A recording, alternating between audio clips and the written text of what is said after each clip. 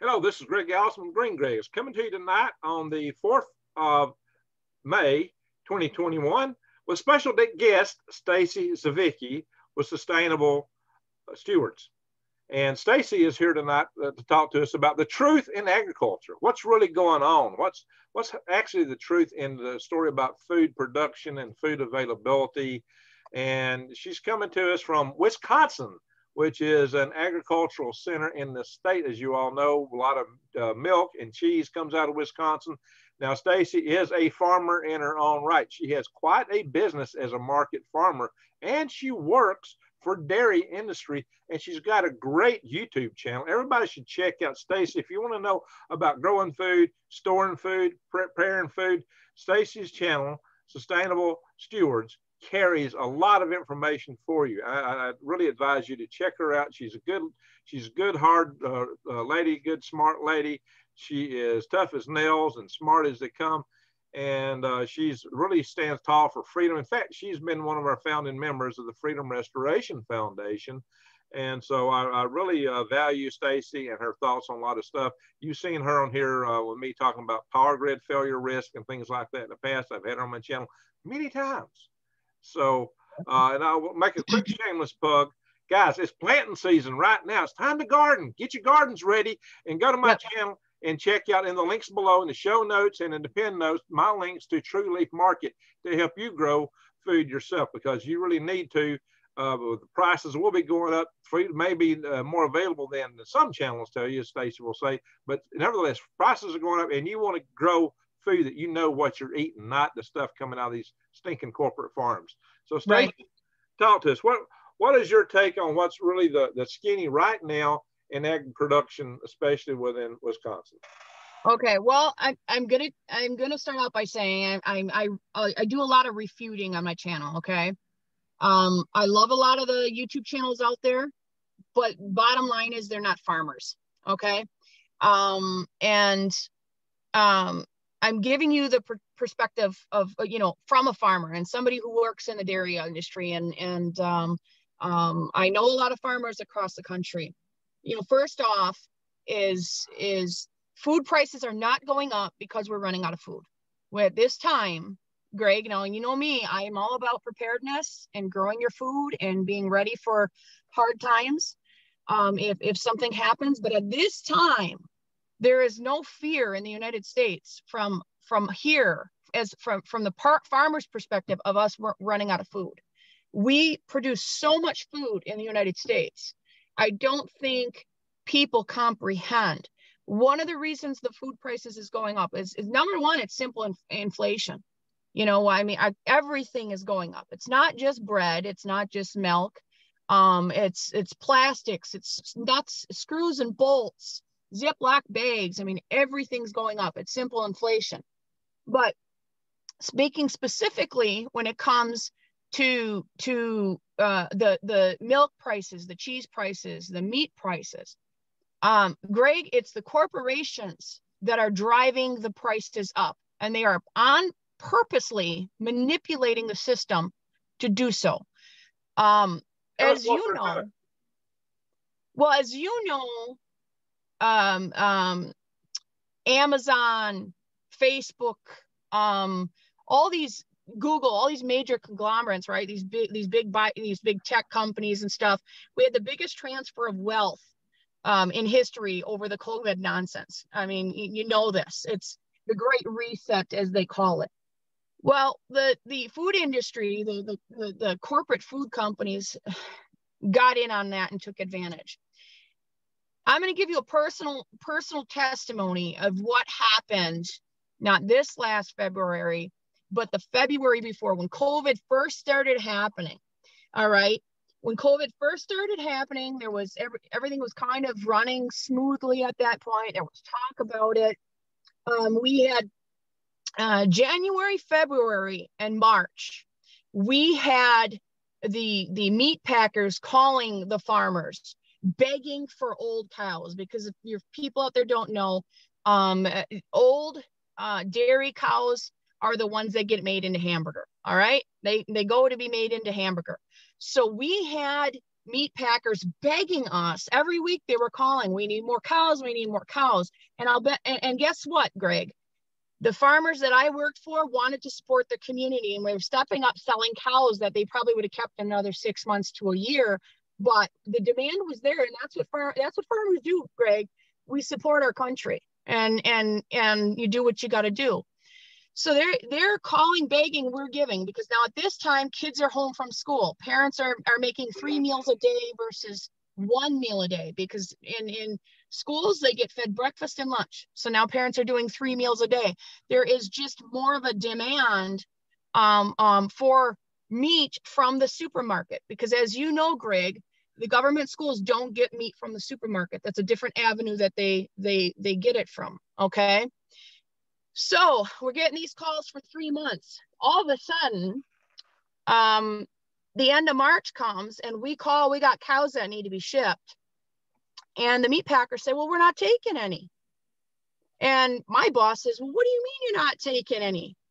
You just had the last three months, you've been begging us for cows left and right. The demand is there. We know it's there. What's, you know, did you shut down because of COVID?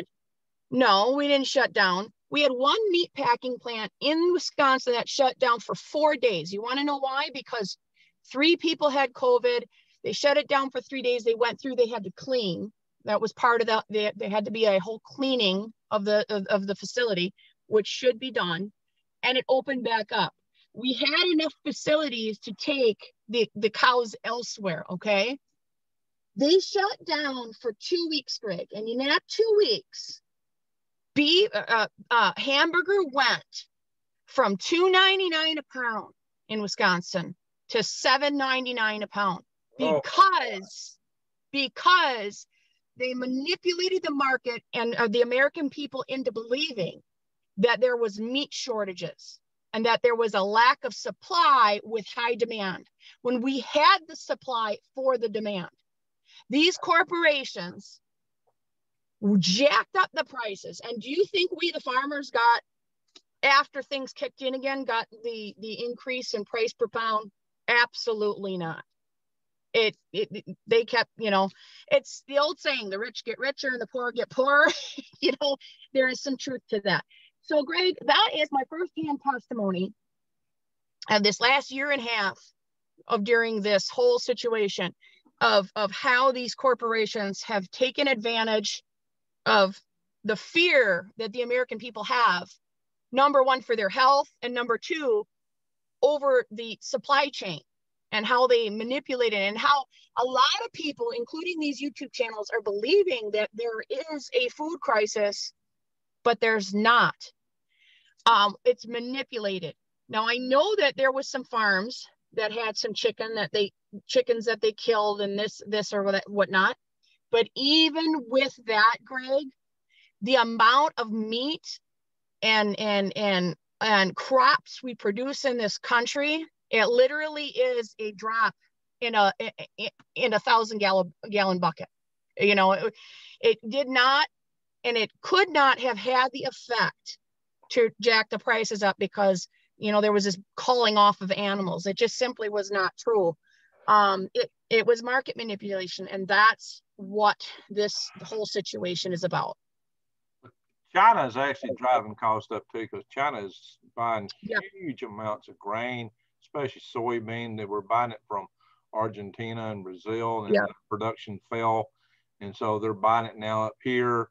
Yeah, you know, there, there are external. It's not a, a, food production, but demand is going up. Demand from China, yeah. in part because yeah. they're feeding hogs. Uh, and, right.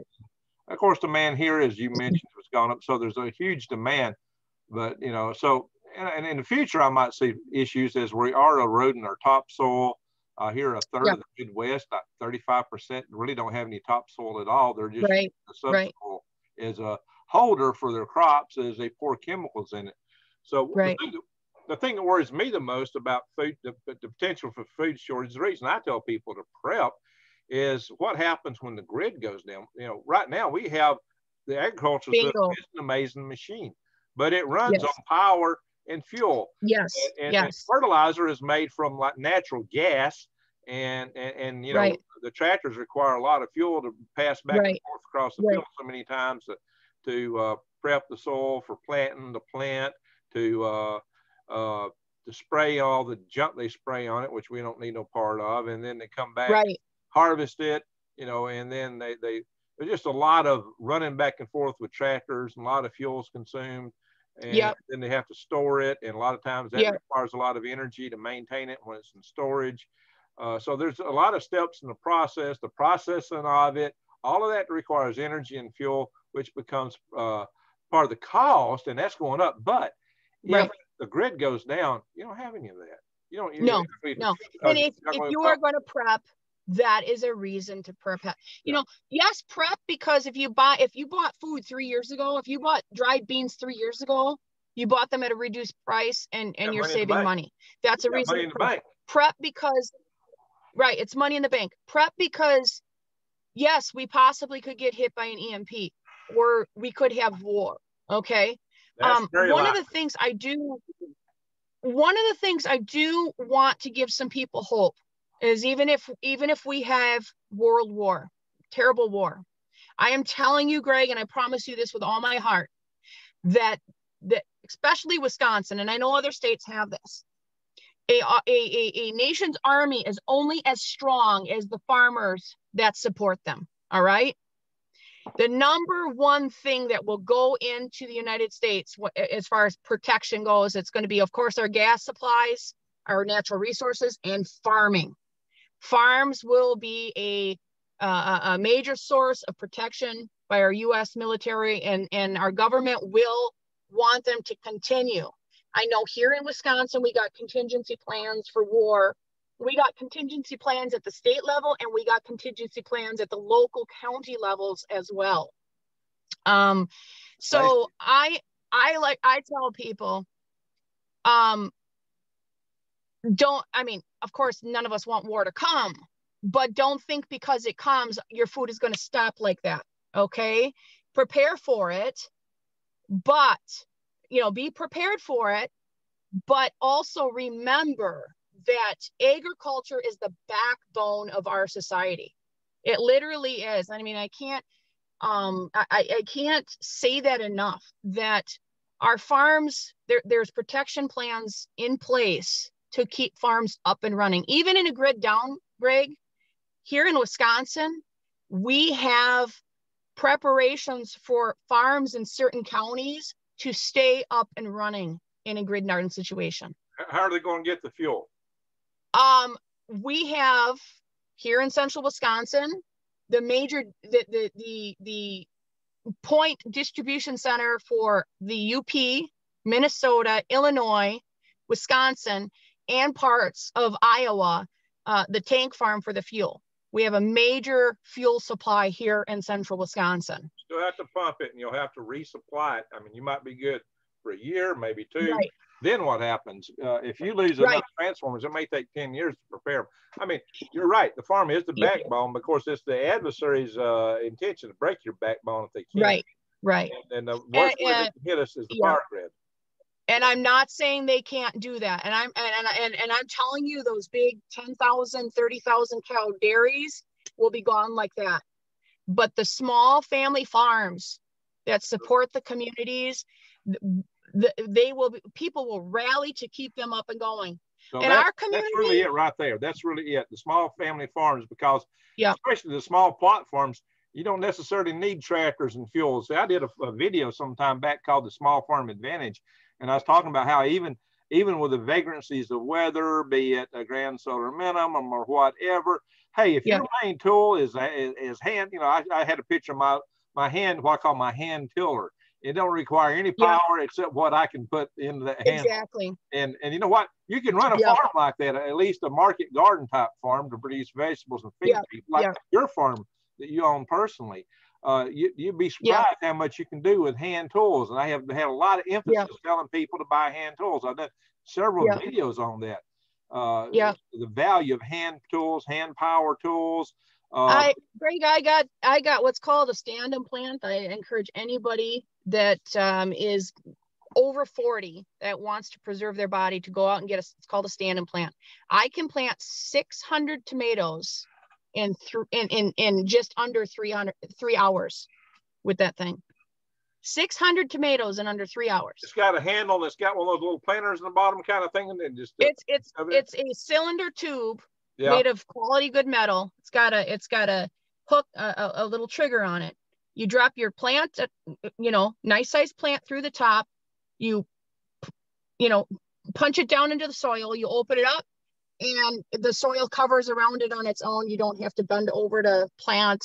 Not you know just you just bam. And if you got an assistant to hold the tray for you, and you're just you're just going, I mean, you can fly. You can fly. And I, I and guys, I believe you should have all those tools. You should be prepared, but people need to prepare for the right reasons. I, Greg, I just said to you before we started, I feel Americans, and especially a lot of YouTubers out there, they're running around like chickens with their head cut off. And, you know, because they're listening to this one and that one. And, and, and, and, and my advice to people is, is to stay focused, stay centered on the goal, run your race and stop being distracted by, by every um, uh, claim. You know, one one in particular, Greg. Um, this last, um, I'm going to actually there put my light on. Um, was you know this Oregon bill everybody was talking about that oh they're going to limit access to animals and this and that. It absolutely it was not the fact. Number one, in agriculture, as we discussed, there are hundreds and hundreds of bills that are are are brought out or brought up and and maybe if 1% of them even gets passed you're lucky. There's a lot of crazy bills out there greg and you know as well as i do. Um, some of them are real threats and others are just nonsensical that will never even get to a vote. And there's a way to tell. There's a way to tell. And i've talked about this right. in my videos. And uh, the way to tell is one one now in our freedom restoration foundation we've got a lot of bills listed and you can go and I show you in there how to check into Congress and how to look up bills, how to contact your congressman, how to write letters. All that stuff is in our action page if you want to find these things. But what you do is you go in and you look at these bills and you see how many sponsors they got. There's tons of bills yeah. only got one sponsor. That bill ain't going nowhere. If it's got two or three, right. probably not. But if it's got right. people lining up behind it, watch out. That bill's coming through. That's what you watch for. That's how you know what's really going to happen. And and, right, and the best way right. to stop something, though, of course, is to nip it in the bud. So what happens is, is a congressman or senator will introduce a bill into a subcommittee. Now, sometimes they just do introduce a bill as a point of political favor to somebody, or so they can crow about it back home. I introduced this bill, blah blah blah blah, and they know it's not going anywhere, but they, they don't stop them crowing about it. So the next thing is, if they're serious, it's going to uh, get sponsors and it gets voted uh, out of that committee uh, subcommittee right. the full committee well, it's got to go through the full committee before it goes to the floor to get voted on. So you yes. got several yes. chances to kill a bill, uh, and it's best to nip them in the bud in their infancy.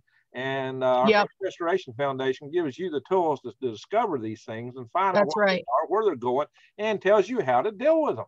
We, we, we right. cover that. And, and, you know, like there was one bill about the bang bang control that a lot of people were concerned about called HR 127. You know, it only had one sponsor and never got co-sponsored. Right. In the meantime, right. other bills that were real threats were coming up. So everybody's focused right. on it. It ain't going nowhere. Right. Other stuff coming And in. some of them aren't even bills. Some are what's called an IP, which is just a petition to bring forth to to make it a bill. It's not even a bill yet, you know. Um, this this I'm going to talk about one particular bill out in Oregon, all right? And um this bill that everybody's talking about that is going to prohibit animal you know ownership and and it's talking about um you know raising animals humanely and, and this and that. There's just a lot of misconception about it. Number one this bill was brought forth um, due to the fact that there's a there's a huge corporate farm out there called lost valley farm all right? Over the past five years this farm has committed major envi- environmental atrocities.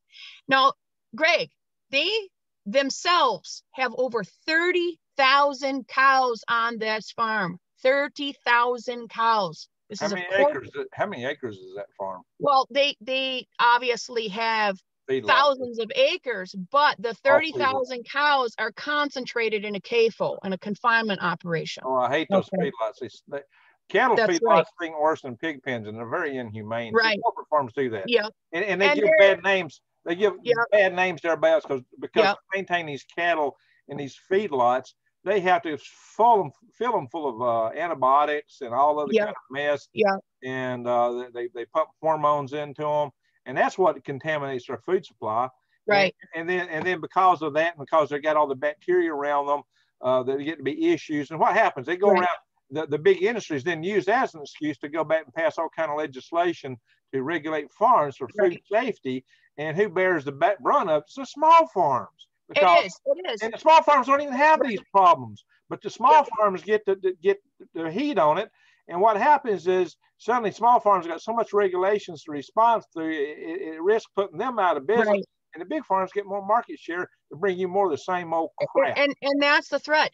And the the farm that's next door to this farm which is another corporate farm has 70,000 so you're you're talking 370,000 cows in a small area.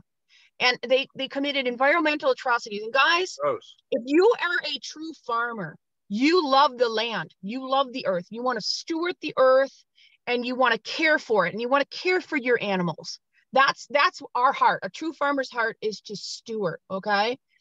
What this bill seeks to do is put a cap at 2500 cows. Anything under that is considered an agricultural farm a family farm. Anything over that greg is considered industry all right? Now by calling these which they are corporate industries these CAFOs, right? Calling them that. Now they come under corporate industry environmental laws, which are held to a very high standard as they should be. Okay. Because now here down in the township of Saratoga, which is about an hour south of me, there for years the community had been eh, fighting a farm, a corporate farm, a big confinement operation coming in because number one, where this area is, you can go eight feet and that's where the water table is, right? The water table is very low. It's very sandy. Um, it is not like here we're clay and our wells here are 350, three, 400 feet deep. We're very deep here. Down there, they're at eight feet. So what happened is, is years prior when a 10,000 uh, cow dairy was an hour south of that, within three years, the well water was contaminated. And all the residents in that area had to have these you know $10000 um, um, uh, filtration system put in their house because they destroyed the well water. Well the communities fought this farm coming in. And the farm of course we own this land. You can't tell us what to do with this land. And you you and i greg are freedom lovers and we believe in liberty. But we have liberty up into the point that liberty harms others. Yeah. and you cannot allow these corporate farms to come into these these places like this with the low water uh, tables destroy the water. And this bill in oregon greg seeks to to to curve the tide of the corporate farm. But we got all these youtubers uh, people out there saying that this this is going to destroy the small family farm. And they're taking the homesteader's ability to own a flock of chickens or have three cows in the field, which is preposterous. It's, it's just not what this is. So, uh, you know, I encourage people when you are listening to these channels, understand most of them are they're not even farmers. They may even have the name farmer in their in their title, and they're not farmers. And and I'm going to say this, and I'm going to say this, and some people will get upset. Just because you produce your own uh, uh, vegetables maybe you have a cow. That doesn't mean you're a farmer quote okay? A farmer is somebody who produces for multiple families or others is a producer. I'm not saying that you're not producing for your family but there's a difference between a homesteader and farming okay? And i'm not saying that one is less than the other but you cannot sit there and and and and and take advice from these people as it is eh, eh, as blanket and not do your research and find out these things. You know because it's just like over the winter when texas got hit greg they, these channels were screaming oh the winter wheat you know it's eh, it's all going to be destroyed it's destroyed and the winter wheat is called winter wheat because it can stand minus 30 to 40 below temperatures greg. Not not a darn thing happened to the texas or oklahoma wheat um, um, crop at all, even with that, you know, the bad storms they had. It's just fine. Winter wheat goes dormant. It's it's planted late September, October, November. Um, it gets about a root system about yay big. It goes dormant in the winter and it wakes up after um, you have um, um, about two weeks of 50 plus degree days or whatever, you know, um, 40 plus days. Um, so nothing happened, but these channels were out there screaming that the sky was falling. This is why I wanted to come on here, Greg, because I, I want to encourage people to stay the course. If you hear this allegation that something's happening here, it's going to be devastating, like the storms in Iowa last summer. Yeah, they got hit in Iowa, but it was a drop in the bucket. It was a very small percentage because here's the thing, Greg that corn that was knocked over like this, guess what? Corn, farmers know corn has the ability to come back up after the ground dries. It, it will follow the sun just like just like a, a, a uh, sunflower. You know how they follow the sun. A lot of that corn came back up and those farmers were able to harvest it. So I'm going to turn my light back on here. I'm in my truck, people, because I got a grandson in my house and it's good bedtime. First, first corn I ever harvested and sold was from where a storm knocked it down. And I went in and picked it off the ground and put it in my old 54 Ford and took it to a granary and sold it. I still got the receipt. yep. And and Greg, a lot of the combines that are out there, they have combine couldn't get that. It didn't that corn didn't come back up, but you know, I, I imagine some of it would, but that corn was, right. was broken. You know, you break the stalks. If it's, yeah, if you break it off the stalk, it's done. Yeah. But um, a lot of it came back up. It's just I I have to say, you know, even there's there's a lot of sensationalism about solar minimum. And I'm in Wisconsin, so guess what? I believe in solar minimum. But as I said earlier, there is no proof, number one, that we are in a grand solar minimum. You, there's no proof of that until years later, number one. Okay. Um, we are in a solar minimum, whether it's a grand or not, we don't know yet. But we have challenges. We don't have the sky is falling. It's the end of agriculture as we know it. We have dozens of growing zones in the United States, dozens. And even here in Wisconsin, we're up in a cold climate. And um, this what year, what is your zone there? I am zone four, and actually, I could be considered zone uh, 3B. Mm. We're right right on the cusp of that. Now you're northern. So, you're northern Wisconsin, right? Yes, yes. And Greg, the last uh, uh, last year we had record breaking harvests. And if and you no, that, you can change your crops. I, I lived in Alaska for two years, and they had what they called the barley project up there. They they actually yeah. had farms that grew barley in Alaska. And I'm gonna tell you what, up there, you only had about three months that you didn't have snow on the ground. Right. I mean, nine right. months out of the year, you lived in a Christmas card. But yep. of course, the daylight was longer in those uh, uh, three yep. months that you had no snow on the ground, so things really did grow. But it was it was it was an interesting place. I mean, the wintertime, uh, the first winter I was up there uh, in the housing area on the main post, we got the ambient temperature 79 degrees Fahrenheit below zero. And yeah, isn't that something? 80 below. That's not wind chill. That is ambient. Right. and they had a barley project. They actually grew barley. And there were some dairies up there too. But now it was tough. Everything in Alaska is tough. Now, I'm not making no bones about it. You know, uh, uh, that would be rough on uh, regular farms to, to, make that adjustment. But it's it's there's things that can be done, especially with greenhouses. So hey, I shipped worms to Alaska last spring. Right. Uh, right. Now to, to, talk about farming, you can see my fingernails are probably I don't know. You might see. Yeah. I, I tried to clean them out before we did our video, but they were still a little bit dirty. I mean, I just harvested worms, some worms today and today's the last day I dare do it. Now I'm only shipping local, but uh, yeah, I'm just now returning to my worm farm. I've been shipping, you know, last year I was shipping worms all over the United States. I'm shipping worms all over the United States again. I mean to Alaska, Puerto Rico. Uh, Hawaii is an exception because Hawaii will only take blue worms. I can't ship red oh. worms to Alaska. I meant to right. Hawaii.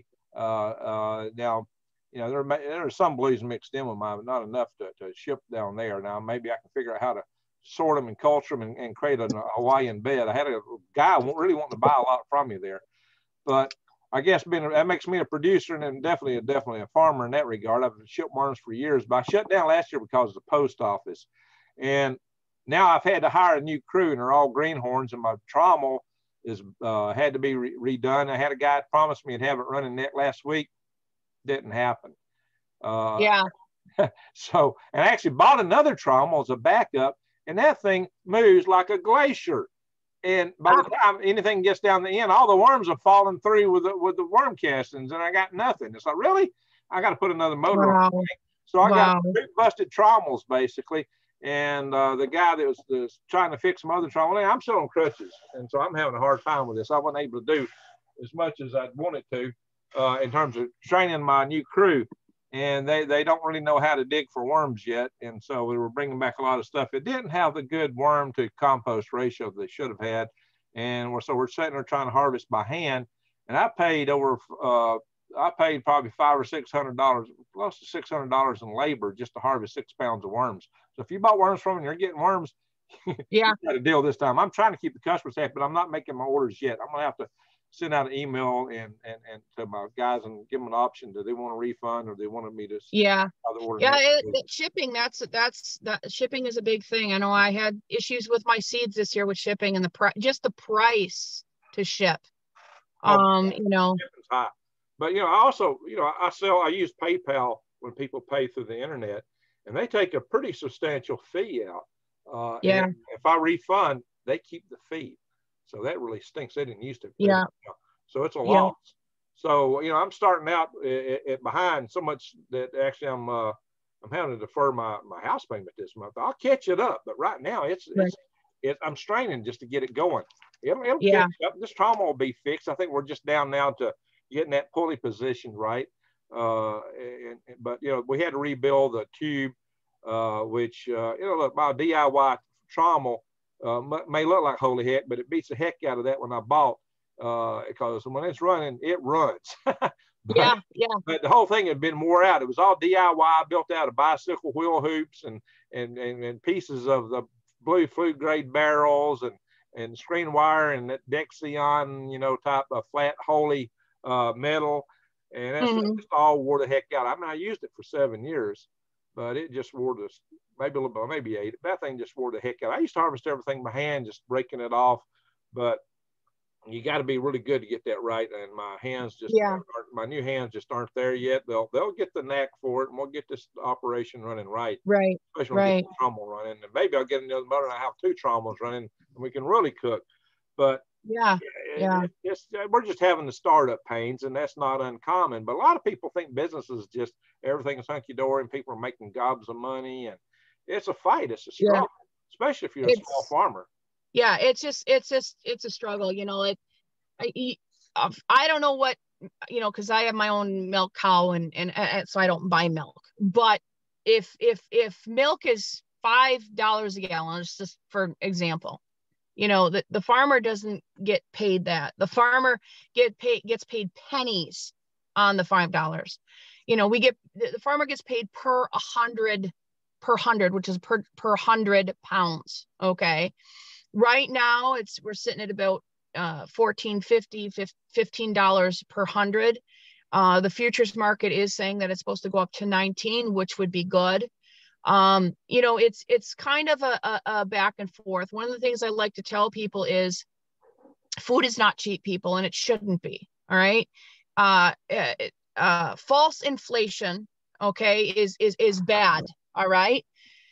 But if you're buying food from a, a, local sustainable farmer that's growing produce, that's growing meats, or you can find a small dairy that sells direct, you should be willing to pay five, six dollars for a gallon of milk because it costs to produce that milk. And then the farmer actually gets a living wage, gets a fair living wage which the way the system is now they don't get they don't get that. And this is why we have no new farmers coming up because they can't get, first generation farmers can't get into it because the amount of debt debt is so significant. Land caught prices right now are are skyrocketed. Um, you know you if you're going to be a dairy farmer in wisconsin you have to be second third fourth generation or you're not getting in. Yeah, yeah i'll say one of the bad things though is they're trying to tax the farmers for capital gains on the, the inflated price of land that's been inflated because of land speculation yeah. on the homes, which don't equate to farming. a farmer's annual income, even the bigger, you know, family farms, is is minuscule. They're just scraping by. Right. Yet on the books, they're, they're millionaires, and so some of the taxes are at risk of paying are shutting down a lot of the family farms. And so right. I, I, think the corporate farms are probably behind pushing that too. So yeah, the, gotta... the corporate farms are the enemy, and and that's yes. Um, it's it's not, and I was going to say this, people. It's not your government that's the enemy either, but the the government is culpable. Okay, because we got corporate lobbyists that go to DC, that go at the state level, and they lobby to to to be coddled, to have uh, to get passes when the small farmer doesn't and and that's the problem we have and then we have the government okay that subsidizes the corporate farms. They get free money greg. They get tons of free money and the government price fixes the food prices. So this is here's a reality and i've said this on my channel over and over over and over. People want to say we aren't a socialistic or communist society. Well guess what? Absolutely, we are. Our agricultural system has been communist since the 1930s when government came in and started fixing prices and doing subsidies to, you know, it's the whole system is fixed. It is a it is a socialized system. And people don't have an understanding of that.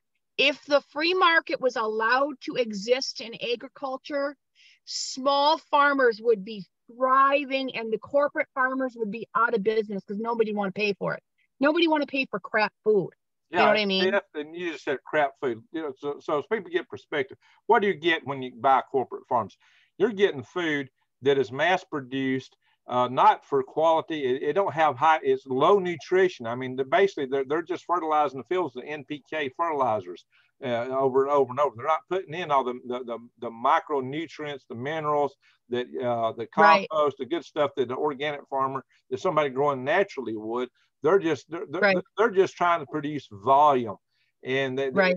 and so the food you get is devoid of nutrition. It, it's, it's it, they they breed and select the crops so they'll live a long time on the shelf, but they're not the good, tasty, nutritious, delicate right. stuff that you would get from a smaller farmer. You'll get far yeah. tastier, better vegetables that are more nutritious from the small farmers. Right. right. This devoid nutrition stuff, uh, you know, because your body's still lacking, it's craving other stuff, and so you overeat. And this is why we're having so much obesity in our, our, country. It's also your food's your medicine. So if you're not getting the nutritious food right. that you really need, you're having health issues aside from the obesity because right, you're not getting right. the nutrition you need for your body to operate. You're not getting the, yeah. the nutrients. Uh, one thing that we're highly deficient in America is magnesium. So yes. I really that causes a lot of heart problems. A lot of people, their hearts race and different. I, I had that problem myself at one point. And when I discovered that, I started eating more tree nuts because trees pull from deep down where there's right. minerals and you get more yes. magnesium that way. Yep. And so that pretty that was one of the, the, key things that helped solve my problem. I had a couple other things I had to do to, to adjust it, but I've not had so much issue with right. it. Right. And and industry farmer also okay, Don't guess what? Weeds aren't always our enemy, Greg. What people don't understand in weeds and crops actually have a symbiotic relationship. Weeds pull minerals deep from within the soil weed weeds uh, uh, are they are the the mineral builders especially right? dandelions dandelions yes. is the best one What is every roundup commercial show killing a dandelion a and dandelion a dandelion is not a weed by any it's any way shape official plants you'll ever have. Yeah. they always show them killing a dandelion? A dandelion's yeah. a gift. If you got a dandelion in your yard codify coddle it coddle it. Yeah. you want it it's a gift from god. It, it's it's it's it not only supports the poll- pollinators you can you can eat you can you can consume every part of the the from the flower to the leaves to the root.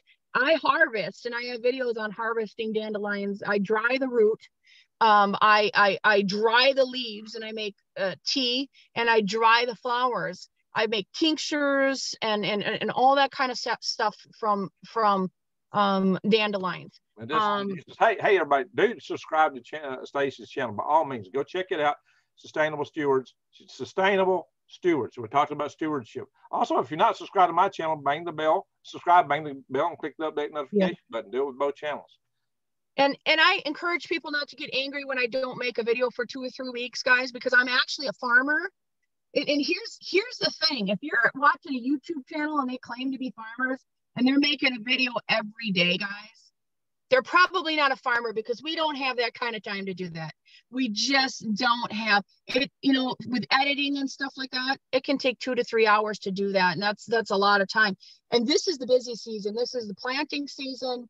Um, I'm getting my farm store up and running here. Um, there's there's lots of stuff going on. So I'm a little busy right now. I'm trying to at a minimum put out two videos a month uh, right now. Um, and then of course when things settle down, I, I put out more you know. But uh, Greg, I did want to comment before we leave on CRP land, okay? Because there's a there's a, there's a big conversation about this, and what you will see on YouTube channels or in the headlines is government's paying farmers not to farm land. Oh, you know, we're gonna run out of food, okay? This is called CRP land. Now, Greg, these are lands that shouldn't have been farmed to begin with. But because land prices are inflated, right? And farmers are forced to to either rent or buy land that is less desirable for agriculture, they farm maybe a, an area that's a lowland that shouldn't be farmed, where you have a lot of erosion, or um, it's it's wet, and what ends up happening is you can't get the hay dry, right? So it molds, or it's wet, so they plant corn in it and the corn gets knee high and it never really grows because it's too wet. It's it's a, a an area of environmental concern that really should not have been farmed in the first place. Okay. So what C what the CRP program is, it's a program by the USDA that pays farmers not in money. They give them a tax break on their taxes to say, hey, you got that 10 or 20 acres there. We're going to give you a tax break so you can go out and maybe rent or lease another property because we know you want to farm it, but it's not it's not yielding. So we're we're going to give you a break. It's actually, and now listen, I don't believe in government programs. Okay, I don't. But if you believe in and that the government should help the farmers because if if you believe in grants and things like that that if if the farmers supported the community strong if you believe in government programs that support farmers then you should actually believe in this program because it allows the farmer then to go out and look for other land that he otherwise wouldn't or she have money to lease or expand into production do you understand what I'm saying, Greg? So it's not that the government is coming out and they are paying farmers to go out of business. That's not what this is. It's a simple, it's called CRP, land management, and you can look it up. We have farmers in this area that are a part of it uh, because um, it allows them to go and have the money to lease land elsewhere and produce. Um, I don't have a problem with state grants for farmers because most of the grants go before the voters here in Wisconsin. The voters get to say, you know, do you want to support your farms? We're going to we're to allot X amount of your tax money for farms. And got Greg, here in Wisconsin, our citizens support farmers. If there is one thing that you need to know about Wisconsin cheeseheads, is that we are pro farm and we love our farmers and we will fight for them, man. Even even the liberals in Madison and Milwaukee love our farmers, you know.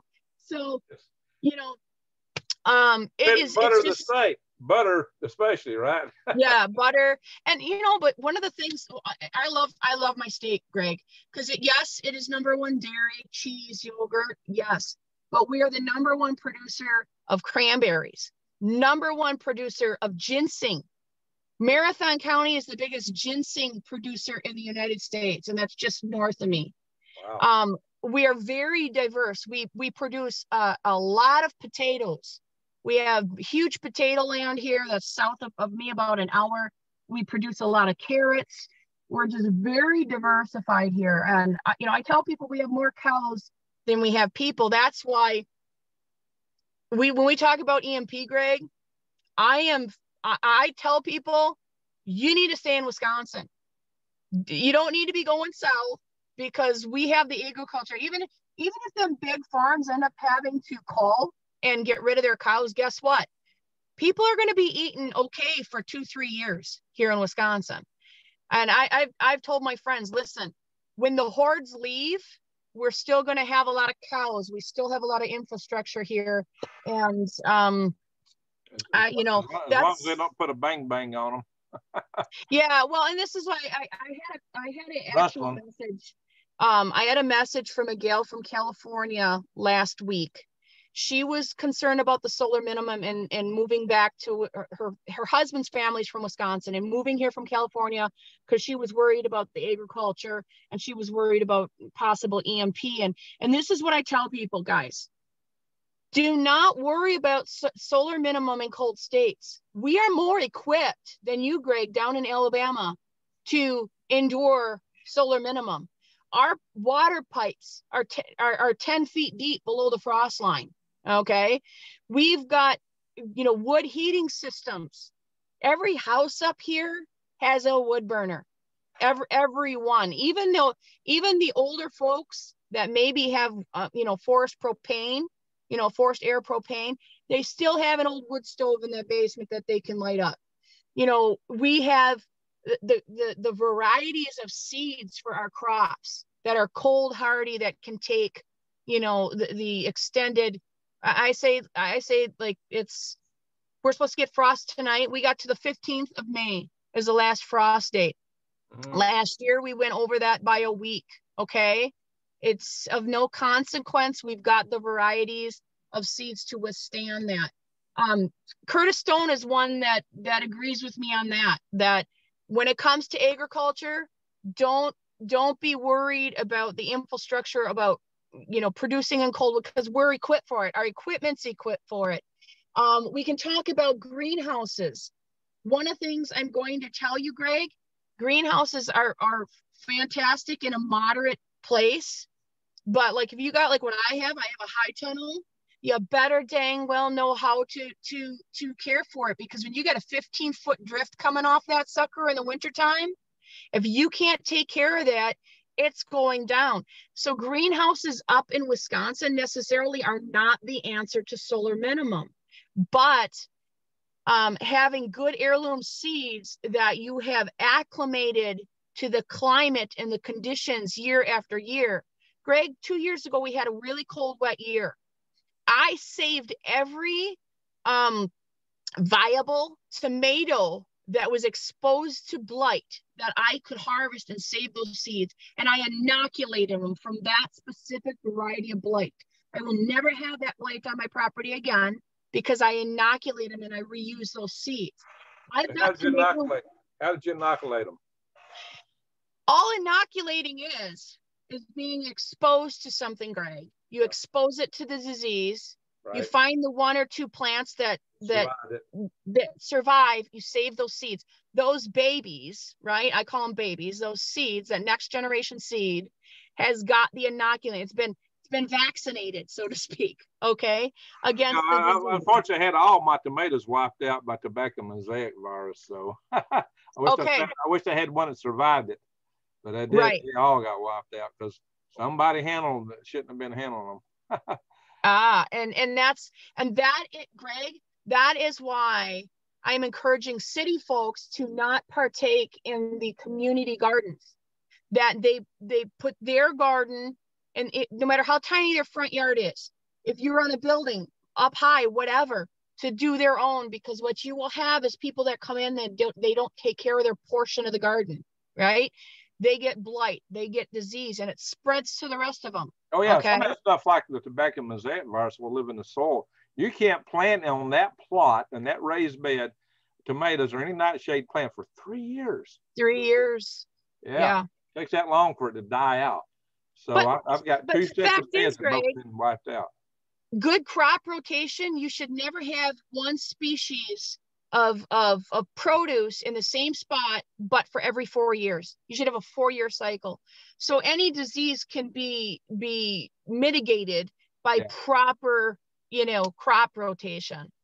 So yeah, but guys, long story short, don't fear solar minimum. We have challenges, but it is not the death of agriculture in Wisconsin. We simply can't, with the amount of growing zones we have, um, be wiped out as a whole. Um, we're adapting very well to the challenges. You know what? Last year when we made hay, we wrap we had to wrap our hay. We we didn't have enough warm days with sun and wind to dry out our hay to have dry round bales or dry square barrels. So what do we do? We had to wrap it with a it's a plastic wrap that goes around it and becomes then at that point it becomes haylage. Now I don't like to have to do those things because it's not a renewable thing, right? Wrapping with plastic is not, it's, it is, you, I have to pay $6 extra a bale to have that, that done. All right. And I don't like the plastic. I don't like to have to do that. But if it comes between me not being able to, to get a crop in and not feed my animals or spending an extra six, six dollars and then recycling that plastic, I will do so. Okay. Um, and and this is another reason food prices are going up because when we make hay we have to wrap the hay more. But now here's i have actually found and i i i logged this year dramatically. So haylage when you wrap your hay it's not quite all the way down. You're about a 40% moisture okay greg? But it re, it retains all the that vital nutrients and vitamins. It's like opening you open that thing up in the winter and you stick your hand in it and it's warm because it oh, actually oh, yeah. ferments. So it, it it creates a good flora for the gut of the cow or the whoever, whatever you're feeding it to. And it's green. It's as green as the day that you harvested it okay? My cows in our cold climate up here normally in wisconsin you get to february and march and your cows start to lose weight because now they're they're trying to stay warm right? And I didn't have a cow. My 15 year old milk cow, Greg. She's going to be actually 16 this spring. She managed to gain 150 pounds over the winter. Wow. Because she was feeding this this vitamin rich, mineral rich haylage. So while I don't like to use it, there's benefits to it as well.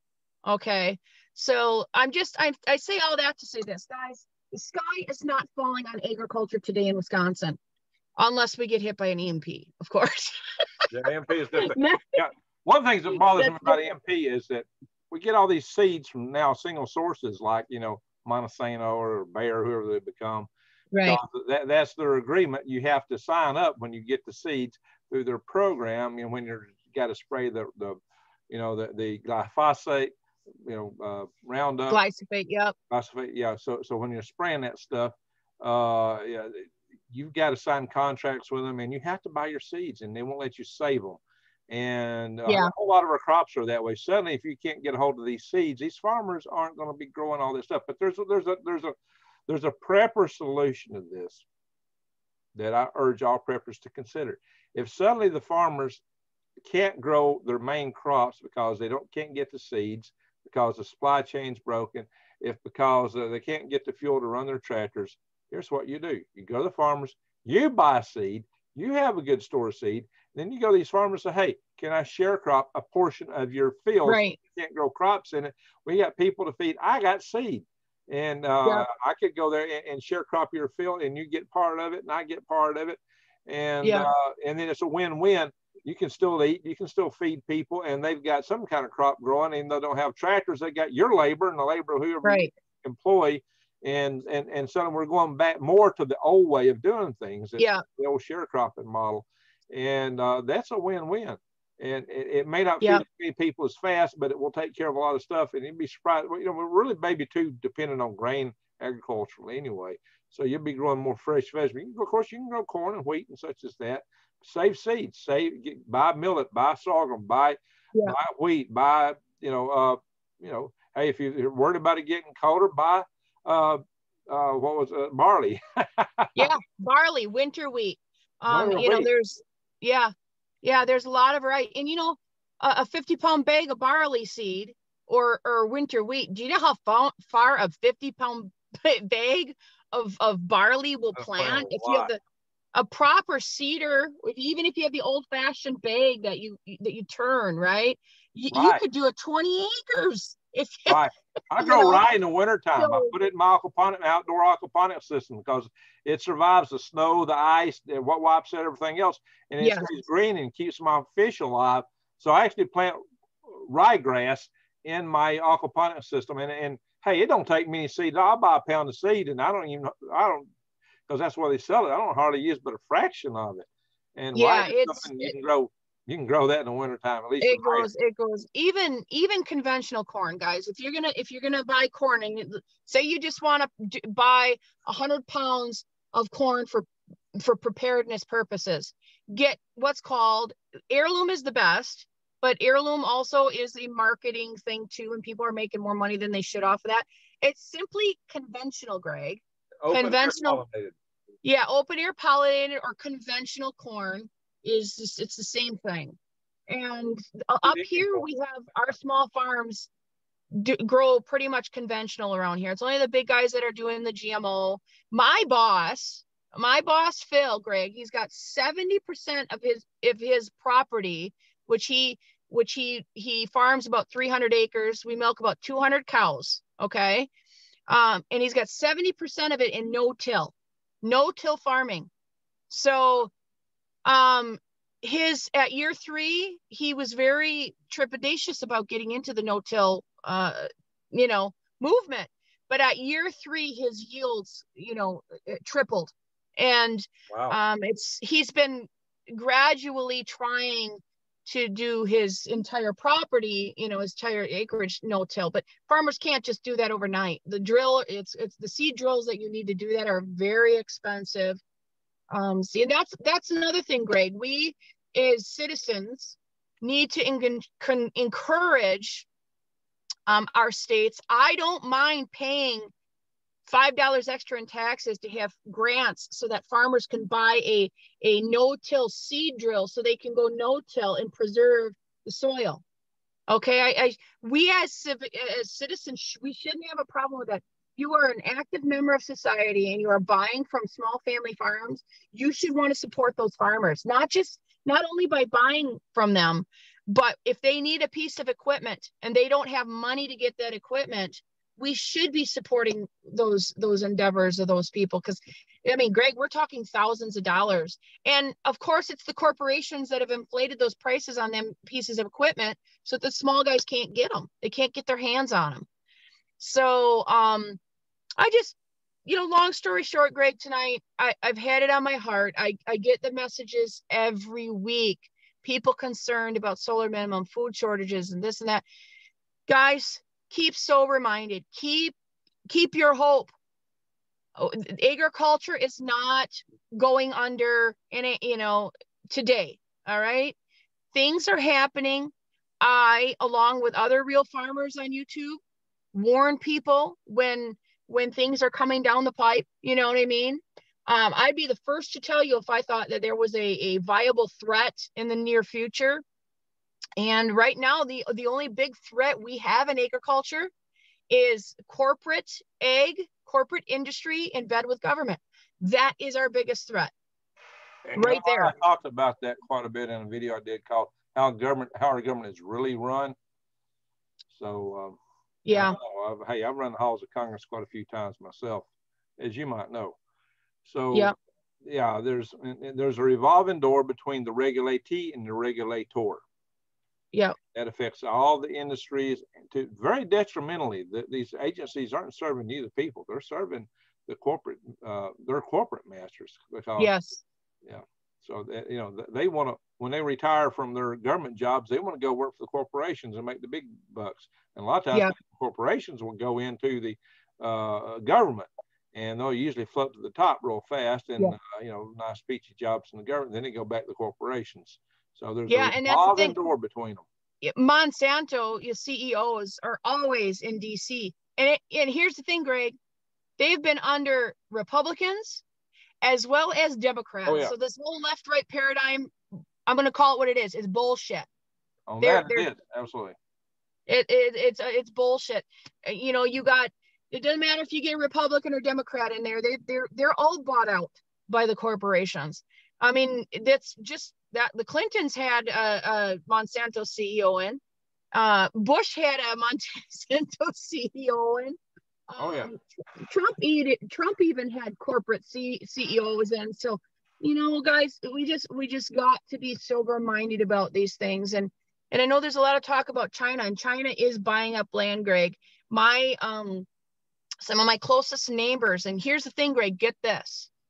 They're 55, 58, 60. They have no second, they have no kids. Now, these are third generation farmers, but they either had no kids or they don't have any kids that want to take over the farm, right? They're right at the cusp of retirement. They're getting letters from the Chinese government to want to buy their land here in Wisconsin. Oh and the, thank God my na- there, there's no way my neighbors are selling their land to the Chinese government. They would die before they did that. But I've seen the letters, Greg. One of them, my my neighbor farmer Jackie, she got them. Now, how does the Chinese government, Greg, know that they don't have the next generation to take over the farm? And how do they know that they're at retirement age? Who's giving them that information? Hey, I got 40 acres in Arizona, and here's a letter from somebody wanting to buy it. I've, I've got three letters already.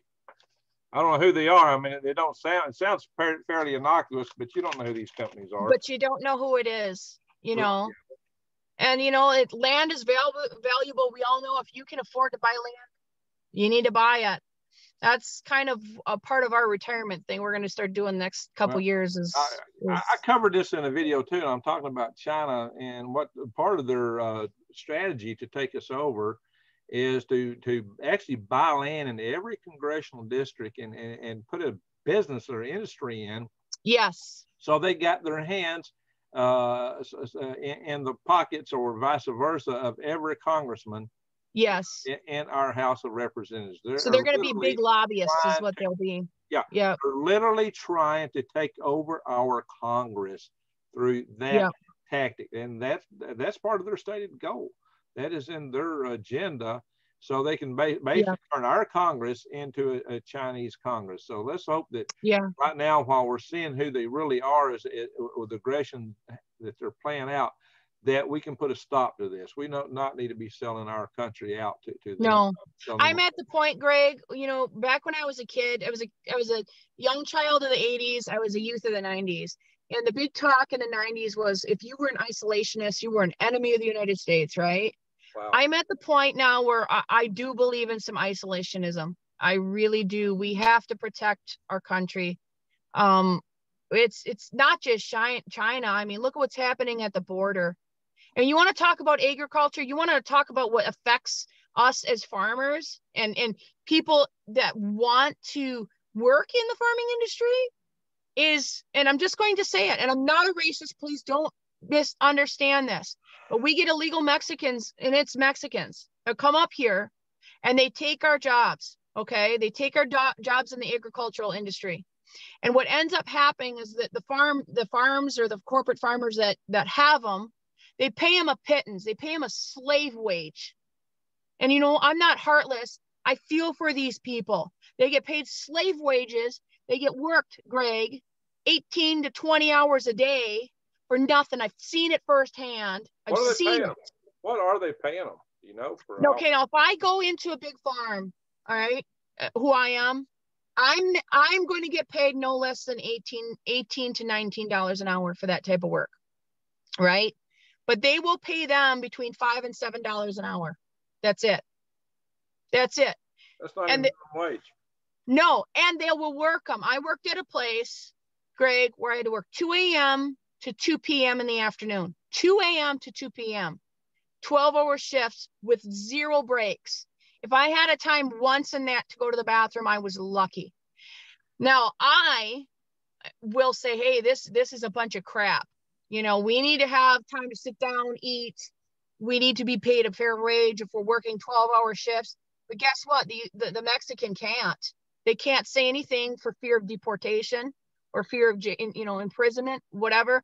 So it's not just that they're taking our jobs and that they're lowering our wages. Because see where i would make $18 a night or 19 an hour i, I could get that. I can't get that. I, i'm going to get much less than that. I'm going to get you know, between 14 and 15 an hour if I would get hired at all, because they're not going to hire me if they can hire illegals. That's that, and that's a fact.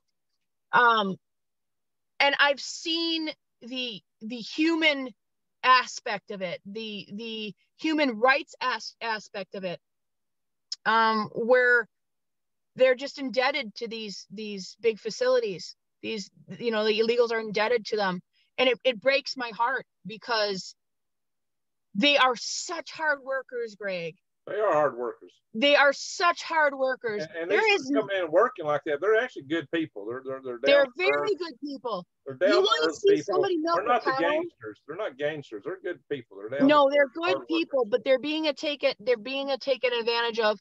But but it screws up the whole system, Greg. It's and and it's at the end of the day, it's globalism. It's corporatism. It's globalism.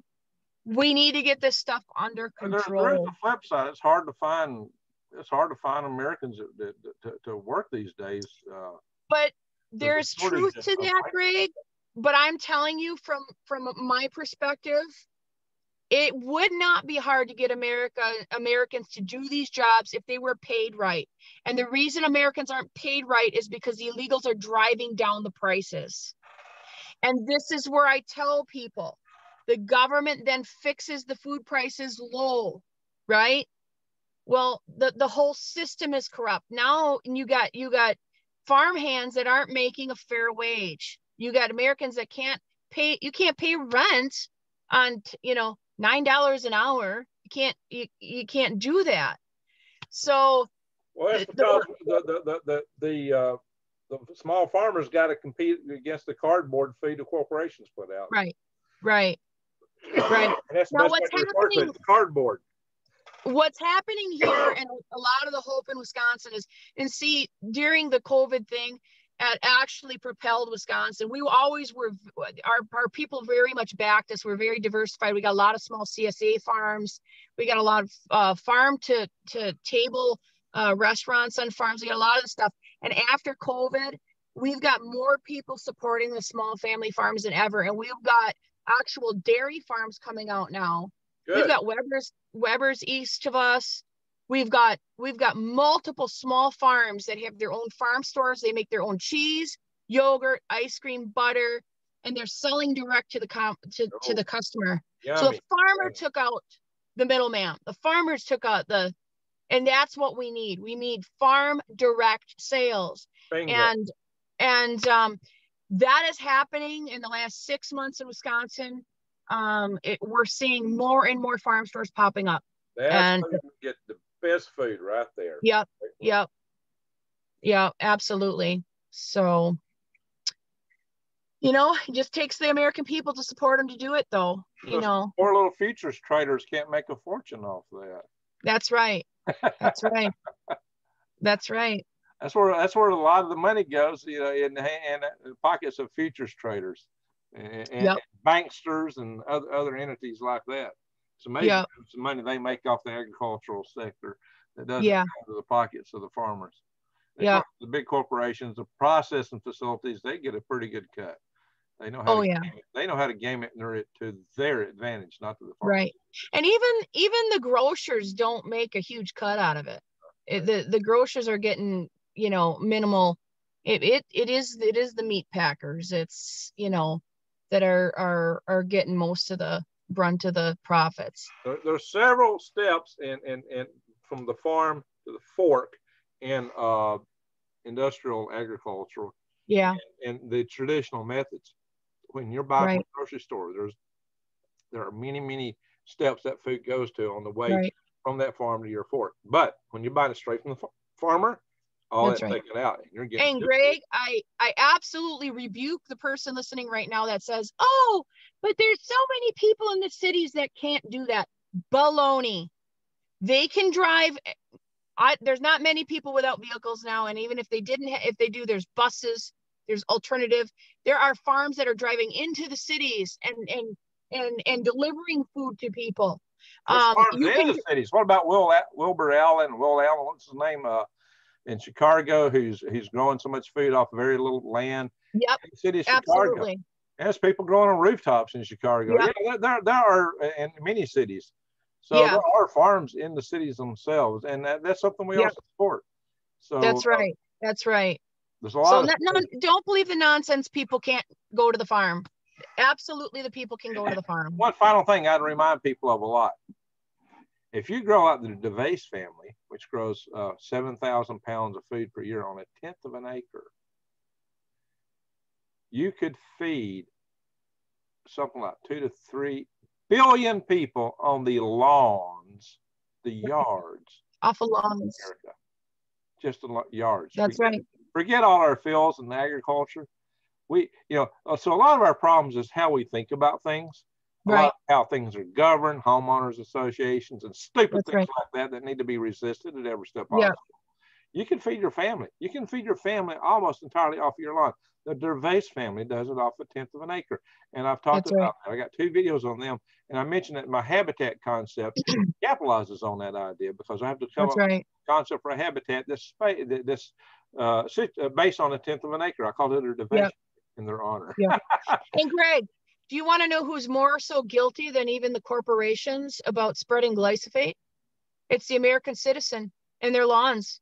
Yeah. They're they are spraying Roundup Ready on their lawns. Because they're They told they got to kill that that that that infernal awful dandelion, Yep. which is the best thing. They should kill the grass, pull That's off the grass, and grow dandelions. Yeah, there's far more water um, um, pollution being had just off the simple, you know, home than there than there is, uh, you know, elsewhere.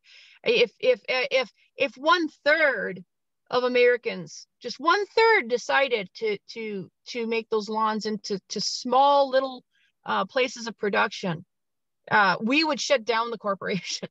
We would shut them Ah, I love it. I love it. There you Yeah. go.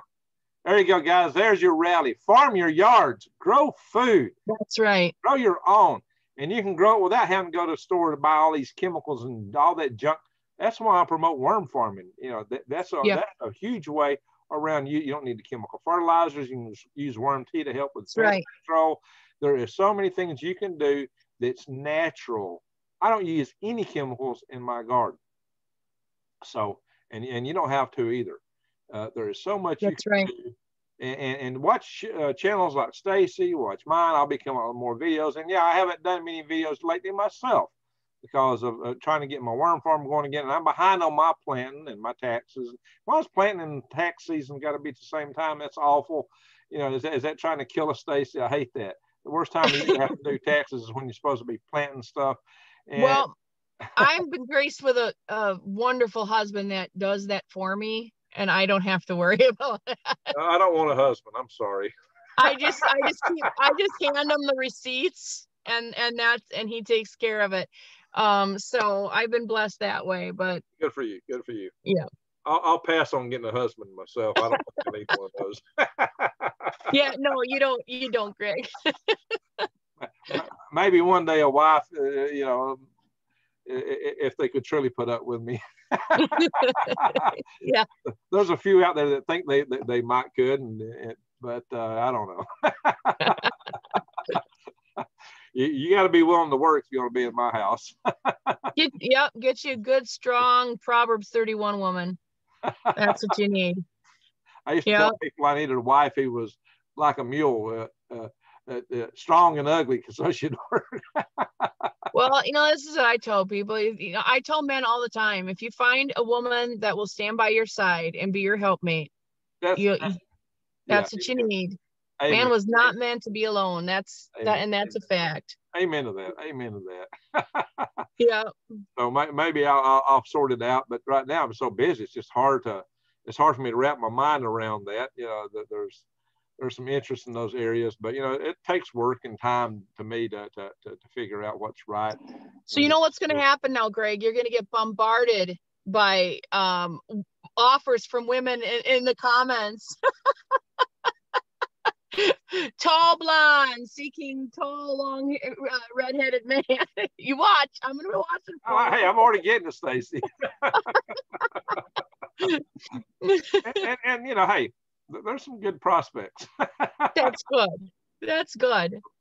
so uh, uh, yeah, and and you know, some of them are regulars to the channel. So um, and you know, one, one in particular, but you know, we'll just have to see it. it, it for me, it, it's it, this is a process that takes time and Yeah, it I does. just- my Just make sure you meet in a public place. Just don't meet. Just meet in a public place. Yeah, my mind is so wrapped around things I got to do right now. It's just hard for me to stretch it right now. I'm, I'm, you know, I'm trying to get this Freedom Restoration Foundation going. I just redid my website for if if anybody has this thing, go to greengregs.com. And uh, I, this is my website for selling worms. But what I've done is I've included a lot of my gardening homesteading videos on there because you go to my channel, it's just hard to find. I got so much wide dispersed content. Right, right. So I've got a, a, a I've got a page just for worm uh, for vermiculture, worm, you know, worms. I've sure. got a page for it covers gardening, microgreens, and aquaponics, and I still got videos to add to that. I'm not done building that page, but you know it's pretty selective. And I've got a page just on uh, wild edibles, and I've got videos to add to that too. That's that's a great uh, idea to have that read on your website. I'll have to check that out. I was on your website a year ago, look checking out your worms and stuff totally, like that. Totally different now. My website is just completely cool. different from what it did. I got some. Eh, I, I did bring forth some of the verbiage and content, but I've tried to make you know I modernized it, you know, more for for the you know the, the style that younger people are expecting. Hopefully, it looks good on a mobile phone. And yeah, my website was really clunky, hard to update. I can go in and change things on. That was one of my problems. Postage went up on me six times. Yeah, everybody loved my great prices, but it was killing me selling those worms. Yeah, yeah. Yeah. six times, and and my website was so clunky. It was just hard to, to modify it, especially on the fly it's like uh, when it gets hot in the summer, if I'm finding the post office is killing the bigger orders, I can shut just that part down and keep other stuff going. Or I can start adding in product releases. I might start selling uh, my turmeric through my website. I might sure. start selling garlic through my website because I can ship that stuff. I may yeah. start adding worm castings uh, or or, or, or uh, there's some there's some ideas for things that are kind of like a uh, solid granular form of worm tea that could well i'm telling I, I i'm just just a hint greg as a farmer worm castings that's where the profits are at oh yeah we we got a we got a worm guy up here um about 45 minutes west that's how he makes all of his profits just off the worm castings and farmers will pay big money for a 50 pound bag of worm castings because it'll go a long way you oh, know yeah. um but yeah that it, uh, Greg, if I was going to buy one thing from you, it would be worm castings. That's what I would buy. I'd you know, be in a worm casting. Well, I am in the worm casting business. I'm back in it. Right. So it's, it's, all rolling again. I just hadn't put that on my website, but at some time I will. I just got to figure out how I want to handle that for shipping and, and things like that. But best deal to get worm casting, just come if you're anywhere in my areas, come see me, call me. Yeah. Um, and my contract, you send if you send the worm castings, they're dried, right? You got them real dry. Yeah, I sell by volume. Yeah. Way I don't sell by weight. There's so many yeah. sell by weight. All that. they do is spray water in it to increase the weight, and so that can right. be gained one way or another. So I think it makes more sense to sell by volume. You're going to get a better deal, and yeah, and that way you're not buying uh, hydrated, artificial hydrated product, which they may be spraying chlorinated water in it for all you know and the chlorine right. will kill all the beneficial bacteria that you're really looking for in your worm castings. Right, right. I actually did a video on um, uh, hay bale or straw bale gardening. And one of the keys to success with that, which I don't suggest actually doing it because of the, the amount of um, effort you have to put into it and you have to keep feeding it. You know, you have to keep feeding it, keep feeding it um, because it's not like the soil. You know what I mean? But one of the keys to that success success of that is a five gallon pail of worm castings. Oh yeah. Wet, and and you plant that seedling right directly into those worm castings. Yes, that's the beauty of worm castings. You, that's what I do. I plant straight in worm castings. You can't do the cow yeah. manure because cow manure will burn your crop up. Now worm castings oh, actually yeah. has more nutrition in it, but the beauty of the worm casting is uh, when a worm poops, and this one's called a casting. They actually cast it, and it's got a mucus around it. And so mm-hmm. it dissolves slowly over time. So it don't burn your plants up. It provides the, mm-hmm. the nutrition right at the rate they need it. And it's like yeah. Mother Nature invented time release uh, long before Miracle-Gro came out with it. yes. Mother Nature was already there a long time before that with yeah. the worm casting. So that's what's the beauty that's of the worm casting. And so the worms actually cast their poop. That's why they're called castings. And they dissolve yeah. slowly over time. So plants grow like gangbusters in it. Don't burn it. You'll never ever burn your plant up with worm castings. And uh, they, they, got all the No, no. And and the most of that's right. And the best thing is they have the beneficial bacteria. Worms carry very specific beneficial bacteria in their guts that break down the nutrients that's already in your soil to make them more readily available to the plant roots. Yes. Yep. And worm that, is symbiotic. Yep. Yep. Absolutely. People, you don't see a big bird flying over a forest spraying it with stuff to make the forest grow. It's all handled in the soil through the bacteria and mycelium networks. Yeah. Uh, network That's right. is like it's a dendritic type network, like in your brain cells, like your, your neurons form. Yeah. And uh, they actually transport yeah. nutrients. They will transport nutrients to the plant roots. That and the beneficial bacteria. What the plants yeah. That's like that. So much. Even even water. Mm-hmm. The plants like that so much. Yeah, even plant, water. The, the plant I'm sorry, we had a little legs and lax yeah. in the, the the video. I was going to say even even water, the the plant can't absorb uh, liquid water or retain it without mycelium and without the good bacteria. It allows the plant for for absorption. Uh, and that's and that's why with the, the the the dead raped soil of the industrial agriculture, right? That's why they're having to water and you know, because they can't absorb it through the soil. Here's one other thing. Um, the plants actually put sugars out through their roots to feed the bacteria and the mycelium. But in that dead rape soil you mentioned, it ain't there. It's devoid. So they're feeding the nothing. Right.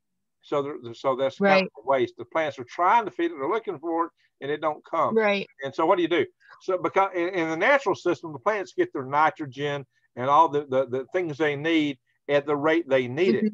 But what happens is farmers are, are going over and spraying this stuff in large quantities, and you over you, you, you, to make up for the fact they can't provide it all the time. They hit them with too much at first. So too much nitrogen or too little are both bad for the plants. Yeah. And the plants are weakened. They're not growing at their optimal state because the plants are weakened. Their immune system's down, and so they're more readily to be attacked by right. insects. Now the fact they're getting yeah. attacked more by insects, they're spraying chemicals to control the, the insects. So they just keep spraying all this junk yeah. all the time. Yeah. So what you're eating with this uh, cardboard industrial nu- nutrition devoid food is a lot of chemicals on top yeah. of cardboard. Yeah. exactly. Exactly. Yep. Oh, Greg, you know your stuff. That's why I like you. ditto, ditto. And you know, I, I, appreciate what you bring. I have a lot, the utmost respect for you, Stacy. You're a young woman with a good head on her shoulder and uh, you, you, you do love freedom and you, you love the country, you love the Lord, you, you're on top yes. of things. And so I, I, have that, like I said, utmost respect for you. That's, that's why I invited you from the get go to be in our uh, Freedom Restoration yeah. Foundation because I knew you were you, you you were cut out for that. Well, you know, Greg, I, I just don't I don't want people living in fear. We we we can't be fear sowers. You know what I mean? We have to be uh, uh we have to we have to sow wisdom. We have to sow wisdom to people and truth. You know i i am i do believe in jesus christ and he's the uh, truth you know sets you free. And and and and that's and that's a fact. So if we have wisdom and we have truth we don't have fear. So um, a lot of um, people misunderstand a lot of my videos because what i'm trying to do when i post videos is not i'm not fear monger i'm trying to get people to prepare. no I, I want to tell them what yeah. the risks are. There are a lot of risk in our world today both right. uh, if you look on the military side, uh, internationally and internally right. and domestically, we have enormous risk. Right. The, the, way you deal with that is you prepare for it yourself. You get ready, and one of the best things you can do to get ready is to grow your That's own. Right. I tell people that over and over. And and, and That's prepper, right. I did a video say, why's a prepper going to die? Because you know when when uh, uh, all the big game gets taken out, you know, in a few months, like it will, and you got these big right. big four bang bangs uh, anything you, you you you point at it is going to be nothing but a ball of fur. right, I mean, right. You're going to be hung, it's, it's, hungry. It's, yeah. and it's great to have the food preparedness and to, to, to buy the food boxes and things like this but you also have to be able to replenish that you have to be able to produce your own because when it runs out it's gone and know? you need the food preparedness for because one, it's a good investment, like we talked earlier, and two, right. uh, crops. You know, until you really get your game down, growing food isn't as straightforward as you think. Uh, and, and there are good years and there are bad years, and when you think you got it all half head, people, oh yeah, we grew all this stuff, and you did it once or twice. But the third year, the deer discovered yeah. your crop, or something happened, yep. hit by yep. storm. You got to learn how to have reserves. You don't grow just what you eat in one year. You better have yeah, reserves you have a good year, you you know, if you have a good like for, for instance, tomato year, you put you put up 2,000, 3,000 pounds of tomatoes and you store it away for four years. Bingo. Because you, you might not have it for another. Yeah. That's what all the old timers did. And Yep. you have excess seed. You save the seed. Seed, Yep. seed is gold. Seed Yep. is gold. And, and, and Absolutely. you get the good seed, you, you keep raising the same stuff over and over, and it will acclimate to your farm, your climate. That is it. Keep, keep uh, using the best plants and saving the seeds from them, and they're more and more acclimated to where you grow at, and you will grow your yeah. own varieties. And that's the, The way it. seed in the crop is just like us, Greg. Like, now you're in the South, right? You have Yeah. acclimated to that climate. I go in the South, man, I am going to wilt and I am going to die. I have been acclimated to 20, 40 below.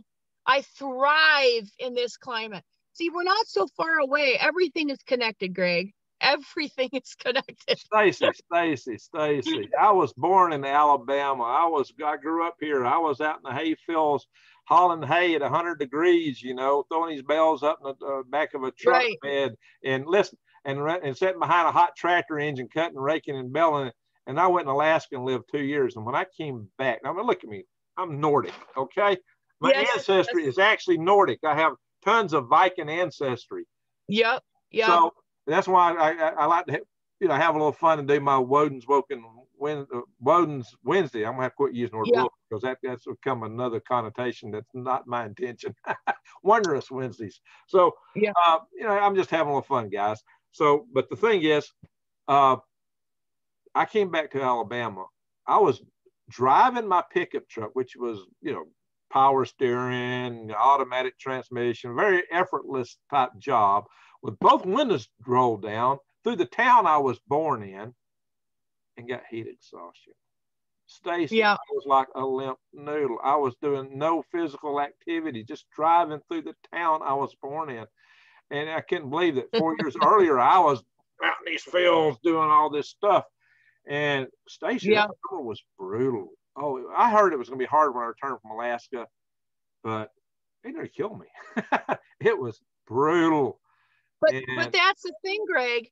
If if you took that seed, let no, you there's an example. You went to Alaska, you came back. It took you a bit to get back into the swing of things. Seeds will do the same thing. I can If handle it. I send Hey, my seed, yeah, I don't even have AC in my home. I can handle it now.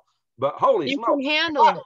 if I went back to Alaska to live two, I was in my 20s then. If I went back to Alaska and lived there two years again, and we, if we had the same kind of cold weather we had when I was there, I might move to Wisconsin. I don't think I'd come all the way back to Alabama. That was too brutal. Yeah, and I'm 61. I don't think I'd want to do that again. You, you, you have to kind of go down slowly, right?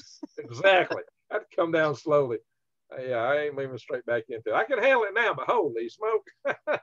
Yeah, yeah, ex- yep. But well, Greg, I I think that was pretty much all I had for this evening. Um, is there anything else you any questions you had or anything like that or Well, we talked about the power grid and, and, and how that can really impact us. And we've talked about that in the past. That's one of my favorite topics, talk because I know how weak it is. I know how vulnerable it is. I've chaired two power grid defense conferences. That's my uh, podium placard. I am an electrical engineer. I do work system safety on avionics. So these are topics I understand yeah and um, you know, given my engineering background, my military background, I've had military background. I've you know I've been in the army. I worked for the army. I worked on army projects as a contractor, and, hmm or something that you know, and on the NASA side of it now. But I'm, uh, uh, you know, I, I've been around. I've done a lot of stuff, so I understand the weakness of our grid. I understand its, its Right. vulnerabilities, and I understand how a lot of the industry is trying to paper that over and make it out like it's not real. I know darn better because I know the real experts who, who tell us this stuff. They're getting lawyers and uh, and other people out trying to tell you the other story and people that aren't expert in the system. I know the experts, and they also say the same things. yeah So this is something you do need to prep. You do need to prepare. Yeah. And you did touch on the concept of, of, of conflicts, uh, war. There's a lot of prospects for that right now. I mean, I've never seen it. You know, in my life, I've never seen it like it is right now. Never. yeah it's uh it's uh wars and rumors of wars i mean it's just chaos in in all directions Yeah. And, um, directions, every direction Yeah. that you turn. It's like, you know, looking at the train at the tunnel, it's like you're in, we're in a node where all the tunnels are coming together and there's trains coming from every direction. Yep. So that's why we're going to keep our eyes wide open and head on a swivel, which I tell that's right. Followers all the time. And, and I'm telling, I, I tell people this on my channel all the time. Get out there, drive 20 minutes outside of your town, get on on Google and look up family farms that produce meat, family produce. Go support them. Buy off the farm. Because I'm telling you what, if you sow into their business today, if you support that family business today, they are going to support you when you need to be supported. Bingo. That's how you want to make sure there's somebody producing and That's there right. it all breaks down. Support them today. I tell my people, vote with your dollar. That's right. And then it goes not just for local farmers, it goes for local artists and tradesmen. That's right. No, and, and I wouldn't even go the corporate the corporations that do electrical supply and so no, go go the individuals. Right. They're being hammered by all kind of regulations, right. certifications they have to file, and yet they're, they're way they'll give you way better service than most of these big corporations. That's right. And and here's because uh, here's the thing, Greg, there there are some out there preppers. I'll just call it the doomsday precker, whatever whatever you want. There are people out there that believe when the shit hits the fan, they're going to be lone wolves. They're going underground and everybody's going to be in for themselves and oh the, the, you know the hordes are and, and, these things may happen but guess what guess what here's the thing the american farmer will never turn their back on their community. Historically it has never happened. Never. That's why now the farmers are farmers are patriotic. That's right. And that's how they make their living in the first place. Like you said what's a farmer do? Sells produce. You have produce that you send to others. You don't have a farm. You have a hey, homesteads are good. At the minimum, you should at least homestead. Right. But uh, that's what the farmer does. That's their, that's their, their lifeblood. And farmers really right. care about what they're doing. So um, yeah. and we care about our community. I do what I do because I want to produce healthy, uncorrupted food for for the my community, for my family, for the body tell, of Christ. Tell us. That's tell tell us just tell tell my channel how much land you, you, you farm and how many people you feed with it. Oh, just gardening. Yeah. Listen, I only have about an acre total. That's it. And I'm producing, I, I produce for about three dozen families, but with the farm store, it's far more than that. I mean, you know, you got people that come in every day. I got, you know, five to 10 families a day that come in to buy produce. So with everything, about 100 families, one you know, off of an acre. One acre. There's people right. that have yards bigger. Right. And and I'm also right. producing for my family where I'm putting up four four years of food at a time every year off of that same acreage. Now I have 20 acres, but the rest of that's in hay, eh, you know, for animals and and and for raising, you know, meat birds and this stuff like that.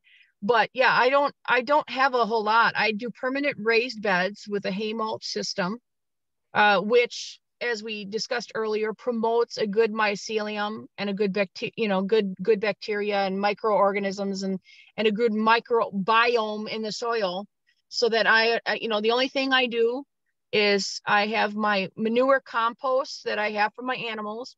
I go through, I have one scoop, you know, every foot. I go put that, and then I cover it in hay. I don't till. I have a, it's a no-till system, um, and um, I don't have any problems. I do have a large um, uh, 47 foot long uh, high tunnel greenhouse. Uh, that is where I am producing all my tomatoes and my bell peppers. So I, the biggest problem we have up here is, is by October, we, you know, like the first week in October this year, we, we froze. Okay. Well, we could still have tomatoes and peppers all the way to, to like November 25th because you got a pepper plant and you've got 25 little peppers like that and it freezes, it's done, right? So I'm I have the greenhouse just to extend the season so that I can get these little peppers that big, you know.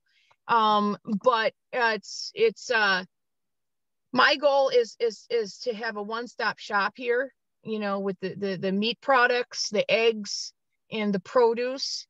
And um on top of that i just i i work with my my 12 year old milking cows milking if i milk five days a week 200 cows my daughter she uh she feeds all the babies on the farm and she dips she puts a milker on here and there but she's pretty she's pretty small yet she can't lift it yet but i absolutely i i, I love my life, Greg. I, I'm connected to the earth. I'm connected to creation. And um, I grew up on a farm and I wouldn't trade anything in the world oh. for that I think that's the best for any kid. I think every kid ought to yeah. be able to grow up on some kind of farm. That may be the best reason just to grow in your backyard is so the kids can get connected to the soil and connect yeah. to nature, the educational aspect of it. Everybody should should have that in their life somewhere, somehow. Yeah. And if you can't do it, at least take your kids to the farm, a uh, farm, and let yeah. them spend some time there. I mean, that's it, right. It is such an enriching experience to be on a farm, to see animals, to see food. Yeah. We had we had uh, chickens, we had hogs, we had horses, we had cattle, I had ponies, uh, just you name it, it was there. And we ate right. you know, from our eggs, from the chickens. Well, and animal animal husbandry teaches compassion. It does. It teaches it respect. It, it, it responsibility. There was no it's, food it's, lots. Our, our, our, that's our right. cattle were, were, were, you know, pretty much tame except for the Jersey cow. She was always a, right. A, right. But, but, when it came time to milk her, all I had to do was walk out in the field and or the pasture and stand behind her, and she just went straight to the barn. she just wasn't going to get fed. You know, that's all yeah. you had to do. And we had the different calls for every animal. You know, you had to, you, you knew the call, and those animals knew that was for them. They'd, they'd go running to wherever you was going to feed them at. Every, every animal had its appointed place to be fed, and the appointed call you'd call them with. And, and that's right. Use the same calls or something similar in Wisconsin that we use in Alabama. yeah. I bet. Yeah, we. Uh, yeah.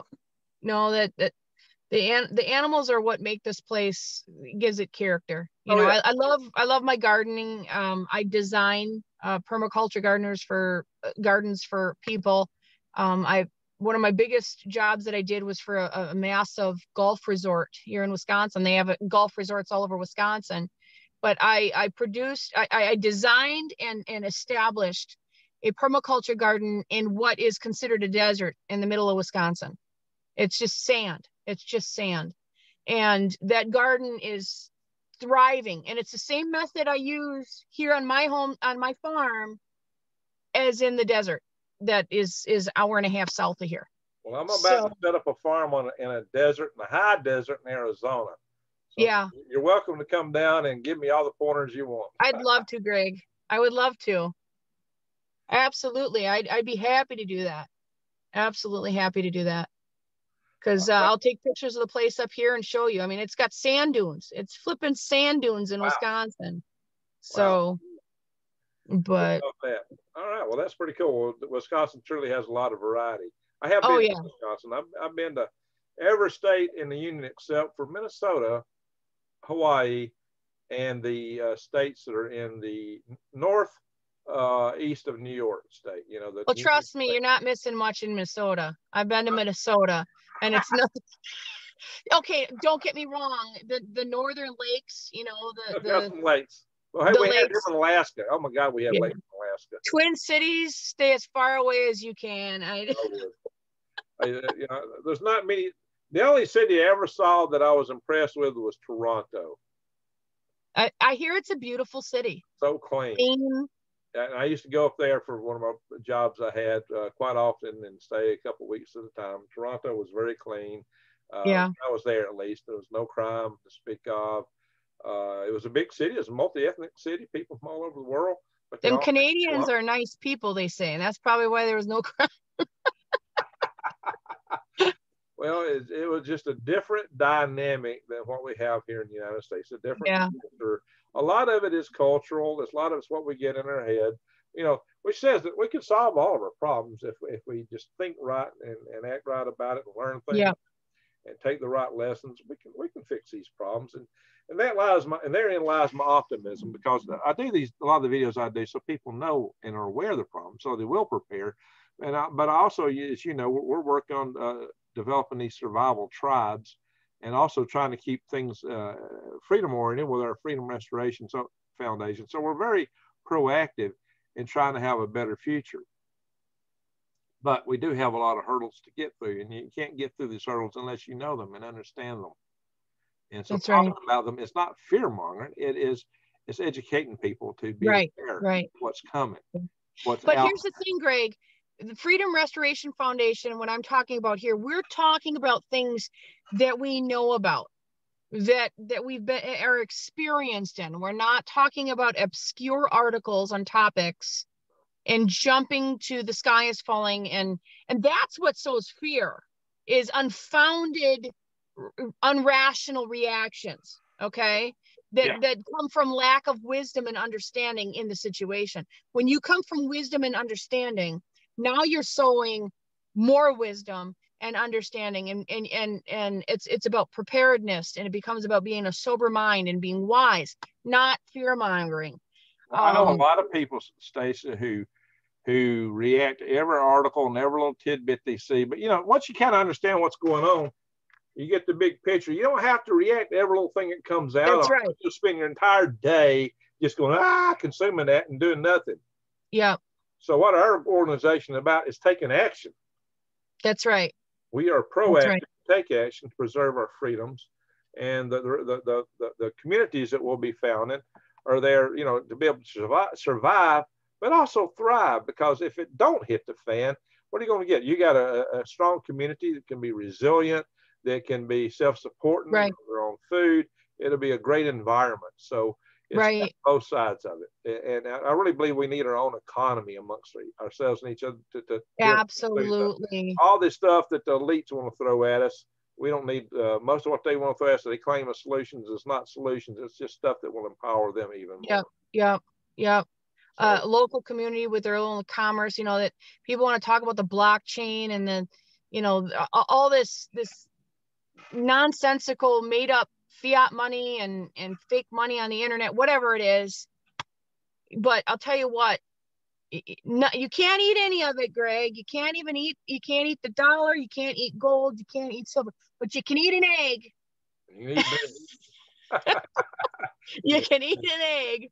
And that egg is worth far more than any rubies or gold or right. silver you know. So all my so, investments are going into my farms and i think that's because i know and when when the tough gets when it gets tough gets when it gets tough that's when we can survive. That's how but the fact is is true true wealth comes from the from the land. Bingo, bingo. and that is it of course there are those that want to take our land away from us and that's why we have the freedom restoration foundation right there are right. those out there that want to take our land and there are people out there who would like to tell us we can't raise animals they do exist right they're out there and, and they would do anything they can to, to, to take us to that point. point and some of them include people who uh, you know, are highly invested in fake meat, maybe. oh, right, right. Of that, for, let's see, one final question. What do you think about Bill Gates being the biggest uh, farmland owner in America and buying more? What do you think about that? Um, it's it, it doesn't bother me in the least. Not saying he's a good guy, but let him do what he's going to do, and you do what you're going to do. You know what I mean? It's there's there's over the, the the the history of America there has always been them who are rich that think think that they can change or whatever manipulate the society with that they're in through whatever programs that they're in okay? Um, but bill gates will never own all the land in the united states. That's right. And much much of the land that he owns they want to say it's agriculture but some of it's not okay? Um, and and here's another aspect of that. Just because Bill is bought land in agriculture and they say he's getting into it does not mean that he is a farmer. No, what do rich people do? They make investments, right? So making an investment in land or or business or farming, whatever, most of what he is is he's, he's just an investment person. Okay. Now the the the whole thing about him covering up the sun and all that, I mean, yeah, that's mad scientist but you know what? He's reaping what he's sown, Greg. He's getting a divorce from his wife. It was just announced this week. That man has sowed um, evil and lies his life. His marriage is splitting up. And you know what? We just need to be about, I always, this is what I tell my fellow believers in Jesus Christ. We need to be about the Father's business, God's will for our life. And don't worry about the wicked people or the evil people or the lost people you walk your path run your path stay focused leave those types of people to the to the creator let him deal with that yeah and if you can you grow know? your own food and take care of yourself you got what you need if we got community right. one guy's the, the you know or some bunch of people are growing food and somebody else is a blacksmith or whatever skill set we need, right. we're set. We're set. We, we, right. we maintain ourselves. We don't need all this other stuff. I mean, like, like we just said, you can feed, you know, two to three billion people from our lawns alone. So we can take care of ourselves. We have to, but we have to have perspective. And then right. I got this concept for a home. You build that home, you can totally take care of your energy and food and just about every need you got in a home. And it's unless you get you know a straight direct hit, it's resilient against all form, you know, uh, a lot of radiation, uh, fire, right. wind. It's going to be a lot better home for a lot of that stuff. So I'm going to be coming out with more stuff. I got a bunch of architectural drawings on that. I'll be releasing the video soon. Uh, I'm really tons excited. of concepts, huh? I'm really excited to see what you're going to build down in Arizona. I I would like to see some sort of off-grid it's going to start simple, maybe a little shack at first, because you know well, that, there's limited. nothing wrong with but that. We'll, but I, we'll I hope you take us on. I hope yeah. you take us on that adventure with you because I'm gonna. I'm definitely gonna try that, but I have. I'm not giving up my Alabama farm either. I'm gonna be back and forth, but I'm just got to find the right people to help me work these places, right? and so that I can go back and forth and make these things happen. And That's great. Uh, I got to have good people to watch things, so I feel secure in going back and forth. That I won't. Yeah. I won't come back and find a place missing. that's right. That's right. So, all right. Well, that's a good input. But the, the, the real key is your future lies in your hands. It's up to you to be self resilient. You yeah. are you and your connection with your Lord. And, and so I tell people all the time stay centered, never panic. And this is what I'm talking yeah. about. Yeah. Centered. Set your priorities. And your priority is to be as self uh, as self supporting self-sustainable as you can be and, and join right. with groups and people and, and, families that, that, that have communities that are set in that way that's the best way you can do it and, stay, and, and grow in that direction that's what i advocate is self-resiliency self-sufficiency yeah. and, and, and, that's the true path to independence and freedom is to be able to stand on your own two feet that's right right that's right personally diversified be personally diversified Bingo, bingo. That's right. All right, Stacy, I believe we have covered the waterfront. We've talked for two hours here. I hope this not so long. This won't scare too many people off from watching. So, if somebody's watched for two hours, what would you like for them to tell us in the notes below so that that we'll know they watched the whole video? What would you like? um, give a thumbs up. You know, a thumbs up and a happy face or something. Let us know, and and uh, and and we'll give you a high five back. How about this? How about this? Hey, I love stacy's pink John Deere hat. ah, this is actually from my grandma who passed away. So oh, hey, wow. Wow. See, yeah, that would be a good something oddball, unique, you know. So well, now we'll really yeah. know they watched at this point. Yeah. Uh, who did I get my hat from? I got it go. from my grandma who has passed on. So if you can if you can say where I got my hat from, we know you watched the whole thing. Bingo. Bingo. There you go. All right, Stacy. I always enjoy it when we do a, a, a, one of these shows. It's always interesting and informative, and uh, you know, we each bring some unique perspectives here uh, to, to these programs. So I hope everybody else enjoys it half as much as at least I have. so that I'm going to stop the recording. We can hang on for a minute, Stacy. So everybody, sure. I'm going to say thank you for watching please check out Stacy's channel, Sustainable Stewards. Subscribe to it. Do it now. Bang that update notification bell and click off. Now, if you've watched it this far, you definitely got to be interested. And if you're not subscribed to mine and you've watched this far, please do the same for mine. Uh, and, and, and, you know, Stacy is, is the salt of the earth. I really appreciate her. So thank you, Stacy. And thank you, everyone, for watching. Thank you, Greg. All right my fellow swivel heads with that, we're going to say good night.